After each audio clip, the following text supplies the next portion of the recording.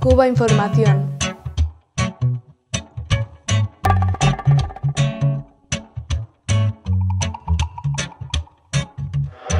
Vamos a conversar con Araceli Rodríguez Malagón. Ella es máster en estudios del Caribe y específicamente en pensamiento feminista negro. Es fundadora del club Espendrú. Araceli, ¿qué significa la palabra Espendrú y qué es en qué consiste el proyecto? Bueno, Espendrú es la manera en que le llamamos al pelo afro eh, natural eh, en Cuba. Los cubanos le llamamos Espendrú. Y el Club del Espendrú como proyecto es un proyecto que se redimensionó hace cinco años, eh, donde se repensó porque es un proyecto que parte de la plataforma de Gijot como herramienta educativa, o sea, el Club de Pendulum toma eh, del grupo Obsesión, que es un grupo de Gijot, toma de Gijot y de los de esos elementos que tiene Gijot, que es la música, el DJ, el breakdance y el graffiti, toma el saber también.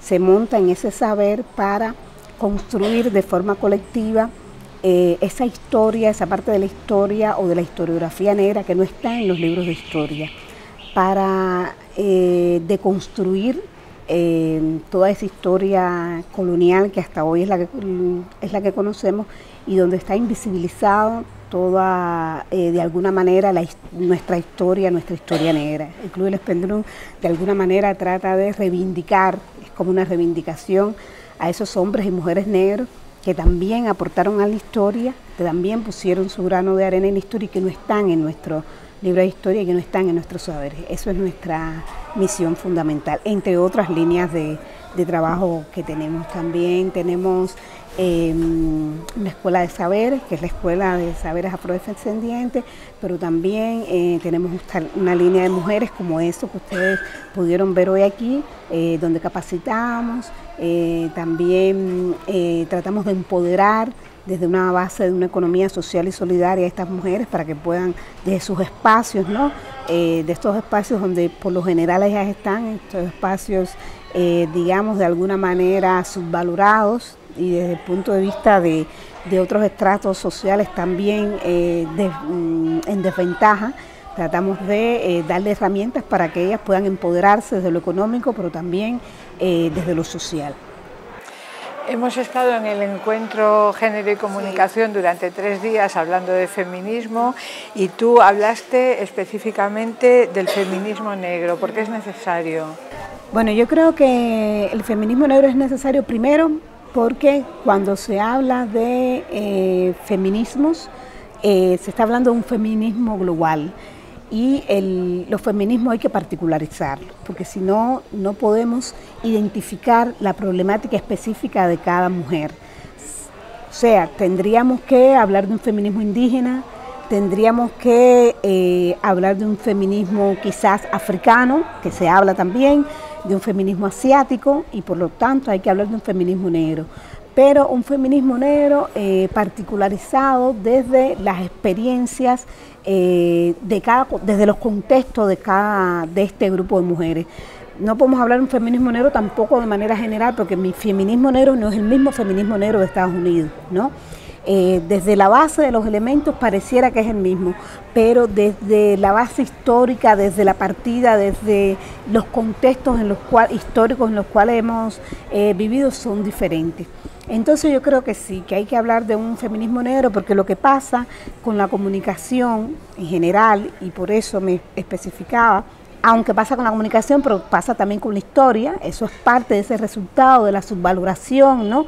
y de la invisibilización de la mujer negra, y em, también de que cuando miramos pensamos que todas las mujeres tenemos las mismas problemáticas. Y si tú hoy quieres hacer un ejercicio, le puedes preguntar a cada una de estas mujeres que hay aquí cuál es su problemática y nunca te va a dar igual la misma problemática, incluso las de un mismo grupo. Entonces no podemos estar hablando de un solo feminismo, ¿no? Por eso es que me refiero y me referí en el evento a que hay que particularizar ese pensamiento y que hay que rescatar y reivindicar lo que aportaron, lo que han aportado las mujeres negras al feminismo hasta dónde las mujeres negras aportaron al feminismo. Hoy hablamos de un gran feminismo y hablamos de que ese feminismo está integrado por hombres y mujeres, pero ¿quiénes fueron las que dijeron, bueno, hay que mirar de manera diferente y hay que, sencillamente las mujeres negras y muchas veces los periodistas no lo saben, la gente de la comunicación, las personas que trabajan en la comunicación no saben lo que han aportado realmente o lo que ha aportado el pensamiento feminista negro a ese gran movimiento feminista.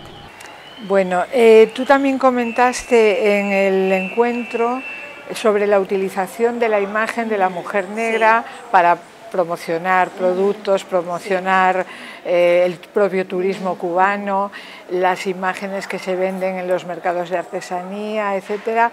¿Qué análisis haces de todo eso? Bueno, yo creo que una de las misiones que tiene nuestro proyecto y de mucha gente que está en este movimiento es la misión de descolonizar la imagen cómo descolonizamos la imagen, esto que estamos haciendo hoy, además de ser un ejercicio de capacitación, es un ejercicio de descolonizar la imagen. ¿Qué significa descolonizar la imagen? Es eh, tomar eh, y descodificar esa imagen eurocentrista, esa imagen que nos da de esa, de esa mujer eh, monolítica, ¿no? por decirlo de alguna manera, que es la imagen eurocéntrica, es ese pensamiento eurocéntrico que la mujer bonita tiene que ser la mujer de pelo caucásico o de pelo lacio, que tiene que ser de piel blanca, que tiene que ser, ¿no? Hay una serie de códigos que además nos los han impuesto a nosotros desde el punto de vista subjetivo y que nos los enseñan. Entonces muchas veces la sociedad transmite eh, no porque quiera, sino porque eso fue lo que nos enseñaron, eso es lo que enseñas en las escuelas, con eso fue lo que nos criaron, que mi imagen o que nuestra imagen no es bonita, ¿no? Y que mi boca no es una boca, es una bemba, y que mm, mi color no es bonito, y que quizás mis glúteos los hacen demasiado exagerados cuando no todas las mujeres somos iguales.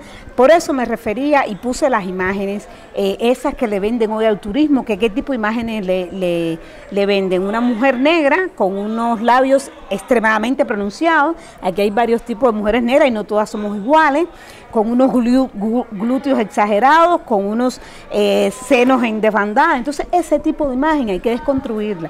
Contra eso, hay que eh, acabar ya, porque llevamos años tratando de construir pero sin embargo seguimos vendiendo. Si hoy usted va a cualquier em, punto de artesanía del turismo, eso es lo que se va a encontrar, ¿no?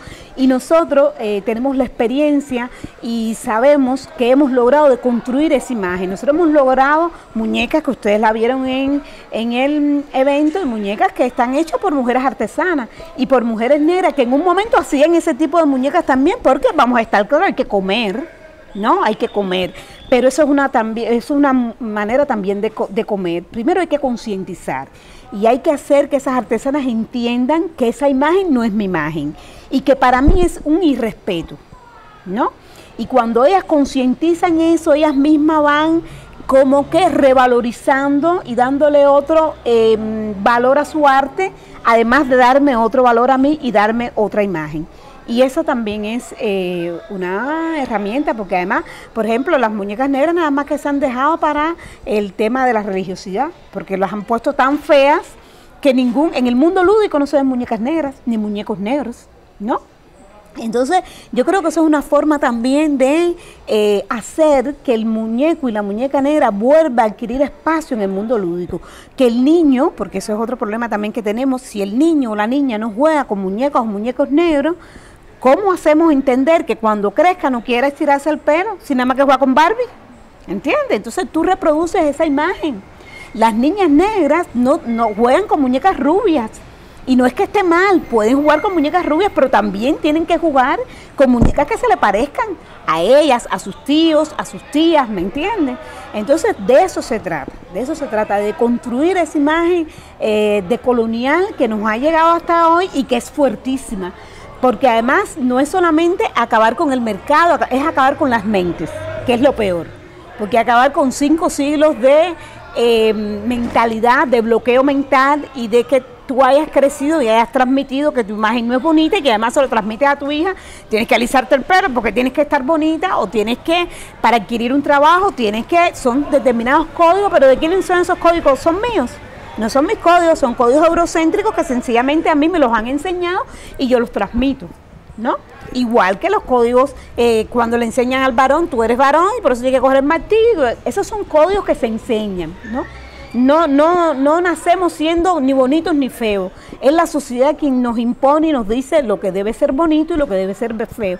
Y en ese código social de belleza, lógicamente no estamos las mujeres negras, lamentablemente. Bueno, para acabar, precisamente el encuentro trataba de los medios de comunicación. ¿Qué papel piensas que pueden jugar los medios en, concienciar, en educar, en corregir bueno, todos yo creo Que los medios juegan un papel fundamental, pero los primeros que tienen que hacer los medios es concientizarse ellos mismos de por qué hay que deconstruir esas imágenes, de por qué eh, hay que deconstruir, hay que desaprender aprendiendo de por qué hay que aceptar otros iconos de belleza que no son los eurocéntricos, de que cada persona tiene su propia belleza, que las mujeres negras con sus, sus variabilidades no tienen por qué ser eh, igual que las mujeres blancas, porque también se reproduce ese mm, pensamiento subjetivo cuando vemos a esta mujer negra eh, con esos pelos muy largos y es una Barbie pero eh, pintada de negro. Entonces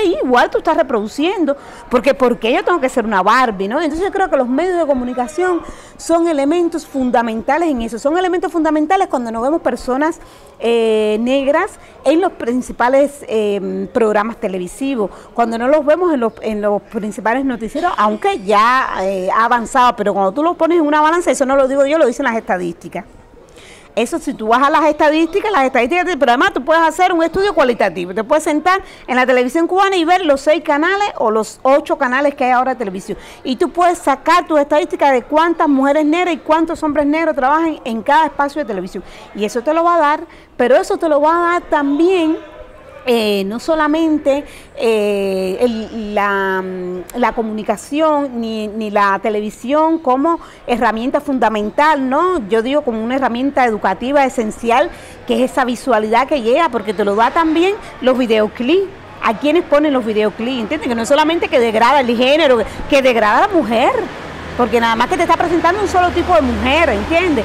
Y te lo da también, em, por ejemplo, los programas infantiles y te lo da también las películas infantiles. Entonces hay una serie de eh, elementos que cuando tú vas sumando, en resumen, te dice que la comunicación tiene que trabajar, pero no es trabajar solo, es que tiene que estructurarse, ni es tampoco... Em, eh, para cumplir los códigos ni las estadísticas.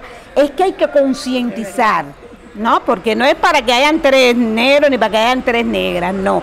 Es para que las personas que estén ahí o para que el director de ese programa, que no necesariamente tiene que ser negro, lo que sí tiene que tener es la conciencia.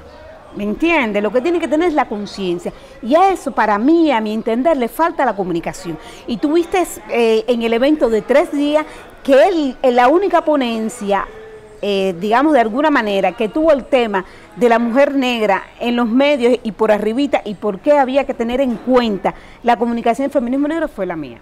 No hubo otra. Entonces, eso te da una medida, eso no te lo tengo que decir, yo tú lo viviste, ¿no?